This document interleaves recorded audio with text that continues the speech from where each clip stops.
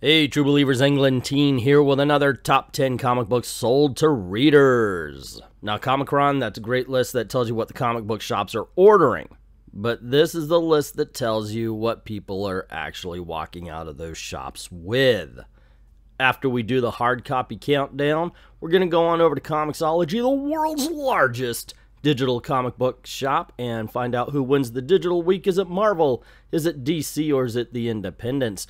These are the comic book shops that take part in the countdown, so if you are in their area, by all means, stop by, say hello, and maybe even actually buy something. Don't forget to support your own local comic book shop. This list does come from Bleeding Cool, so take it with a grain of salt if you have to. And let's get this party started. Starting off the countdown at number 10 is Monstrous, number 22. At number 9 is Star Wars Age of Rebellion, Jabba the Hutt. Coming in at number 8 is Doctor Strange, number 14. In the number 7 spot, Tony Stark, Iron Man, number 11. At number 6, we have The Flash, number 71. Taking the 5 spot is Miles Morales, Spider Man, number 6. At number 4, we have Venom, number 14. And coming in at number 3 is Action Comics 1011. In the runner up spot at number 2, Avengers number 19. And topping the list at number 1 is Detective Comics 1004. Wow, not a good week to be a DC fan. Man, my home team just got a shellacking. Only three in the top 10. Marvel had six. Of course, we had Monstrous from Image, but dang, it's not even a case of Marvel putting out a hell of a lot more books than DC. They had 18, DC had 14, plenty enough to take over the top 10. It was just a bad week. Bad week for DC. So Marvel wins the hard copies. That's my take on what went on with the list. Let's listen to what the comic book shops have to say. Detective Comics took our top slot this week, but only one other DC made the top 10 Justice League Dark number 11. Both of Kevin Eastman's new books hit our top 10, and Marvel's facsimile reprint of an almost 40 year old Star Wars outsold every DC other than Detective. Think about that for a moment. More of our customers would rather pay $4.99 for a facsimile reprint than pay $3.99 for a brand new issue of a DC Comics. We're not talking Wolverine's first appearance here either. We're talking a random issue of Star Wars. DC is beginning to stand for disaster coming, and I'm not sure dreary villain centric storylines have any hope of turning the tide. And here's another oddity. Beginning last month, our line wide DC sales swing to 68% regular covers 32% variants just as DC is announcing plans to push their variants with their card stock covers at a $1 higher price point, I think this might be an example of too much too late. DC readers are bored with the most of the, most of the ongoing series storylines and they're looking elsewhere for existing reading or exciting reading. He's not wrong. Look, I'm a I am a DC fan, and by that I mean I, uh, when you put character versus character, I like DC more than I do Marvel. Not that I don't like Marvel, it's just, you know, I'm more of a DC fan. And there are some books that just take me forever to read because I'm I'm I'm losing interest. Granted, there's some great books, Freedom Fighters for one, but stuff like Nightwing and it used to be so exciting and now this whole Ric Grayson, we got to bring in a whole police force to be Nightwing storyline, we're over it. It's done. Bring back Dick Grayson bring back the feel of the rebirth because it seems like it's going back to New 52 and it didn't work the first time. It's not working now. Pretty average week. Detective Comics and Action Comics performed well, with Venom wedging itself squarely between the two of them, selling higher numbers that we've seen for the past few issues. This is surprising given that Cullen Bunn is writing the War of the Realms tie in issues, and well, it's a tie in issue. War of the Realms Strike Force Land of the Giants made it into the top 10 for us as well, surprisingly surpassing the Uncanny X Men title, which leads me to believe that.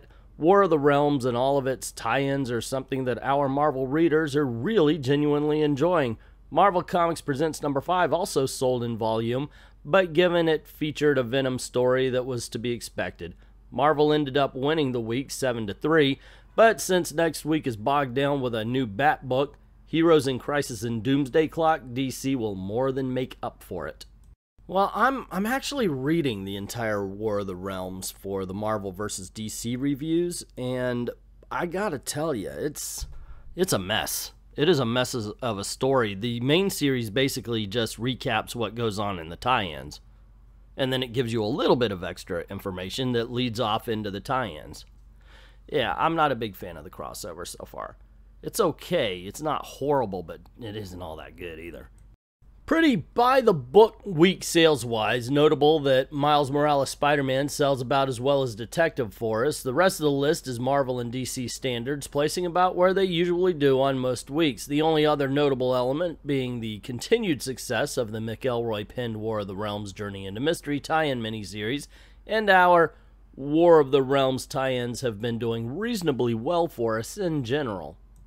And that just floors me even more because Journey into Mystery seems to have less to do with the main storyline than any other. it really does seem that way. Anyway, I don't know. People like what they like. Anyway, that's what the comic shops have to say about the hard copy countdown. Let's go on over to Comixology, the world's largest digital comic book shop, and find out who wins the week digitally. Digital, digit, digit, digit, digit, digit. Take two. Let's go on over to Comixology, the world's largest digital comic book shop, and figure out who wins the digital week. Is it Marvel, DC, or will the independents actually make a fight this time? No, they won't. Just one. Just one. At number 10, starting off the countdown digitally, is Monstrous number 22. Coming in at number 9 is Tony Stark Iron Man number 11. At number 8, we have War of the Realms Journey into Mystery number 3. Taking the number 7 spot is Wonder Woman number 71. At number 6 is Miles Morales Spider Man number 6. Coming in at number 5 is Justice League Dark number 11. At number 4 is The Flash number 71.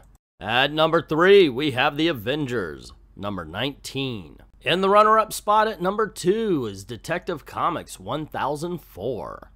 And at number 1 is Action Comics 1011.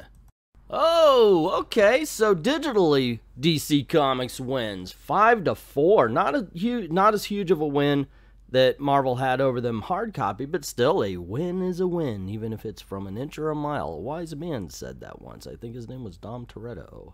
Anywho, once again, though, that does not bode well for DC Comics, though, when I stretch it out to the top 20, because we know Marvel owns that back half. Let's see how it goes. At number 11, we have War of the Realms Uncanny X Men number 2, tying it up 5 to 5. At number 12, Venom number 14 makes it 6 to 5 in Marvel's favor. At number 13, we have War of the Realms Strike Force The Land of the Giants number 1. It is now 7 to 5 in Marvel's favor. At number 14, we have Runaways, number 21. It is 8 to 5 in Marvel's favor. At number 15, we have Doctor Strange number 14. It is now 9 to 5 in Marvel's favor. At number 16, we have X-Force making it 10 to 5 in Marvel's favor. They have officially won the match at this point. At number 17, we have War of Realms New Agents of Atlas number 2. It is now 11 to 5 in Marvel's favor. At number 18, we have Wolverine, the Infinity Watch. Number 4, it is now 12 to 5 in Marvel's favor. At number 19, we have Terrifics. Oh my gosh, hello DC. Glad to know that you remember there's a sales chart going on. Holy Toledo. 12 to 6 still Marvel's favor. And at number 20 is Mr. and Mrs. X. Number 11, it is 13 to 6. Guys, come on. Seriously? Seriously. This is not a case of, well, Marvel's putting out more books. More so than the hard copies. Come on. Damn. I mean, that's out. That's an ass whooping right there. As a DC fan, I am embarrassed for them. It is time for them to get their sh- together. I knew they would get worse than Marvel this year. I did, but holy Toledo. Last year I was doing this same countdown and DC was kicking their butts continuously. And now look where they've fallen. Look where they've fallen. Oy vey, and yes, I understand. I'm I am not blind. I know that DC owns the top of the countdown. That they had Detective Comics that they had action comics, the whole nine yards. But still, that only only five, I'm sorry, only six in the top 20 digitally. That is just embarrassing. Flat out embarrassing. Anyway, that was the countdown. That's my opinion about the whole thing. What do you think? Other than every other DC comic, what's missing from the top 20? What do you think is in there, like, say, Runaways and their tampon stories that shouldn't be? Let me know in the comment section below. Also, if you haven't done it already, please click like, click share, hit that subscribe button if you haven't done it already, and don't forget to ring that bell. That's what YouTube really cares about, if and when they actually care at all. If you don't mind helping out the channel, please go on over to Ko-Fi or to uh, or, or to Patreon. Drop a dollar in the till and helps keep making videos for you. Or we just started up a Amazon store. The link's in the description below. There you could buy some sort of cool statues, some books, some comics, something that has to do with the videos we make here or uh, whatever. Just go on through that shop right there. You help out the channel and you get something cool for yourself. like thank everybody who's already done that and to everyone, all of the true believers, thank you very, very much for watching.